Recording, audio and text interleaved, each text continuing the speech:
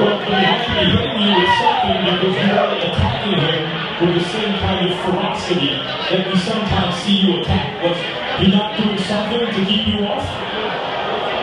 Yeah, I mean, uh, I, I got him many times. I saw the boxes and I think I, I really, I think I really We know inside the judges did. Um, from the from the outset of the first round, he be able to get a fight his. You usually throw a lot of punches. You, you didn't throw as many punches uh, right from the beginning. Why? No, he's, um, he's um, uh, moving around, moving around. It's, it, it's not easy to throw a lot of punches you, if you don't run going around.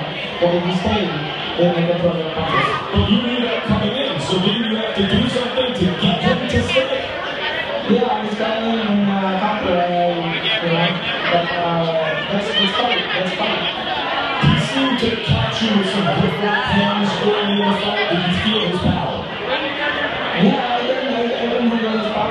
It's like, uh, uh, like, uh, other one or, So you're saying you thought you were up in the fight, and that's why maybe you didn't attack him, you didn't step up the pace even more in the 11th and 12th round. yes, and, um,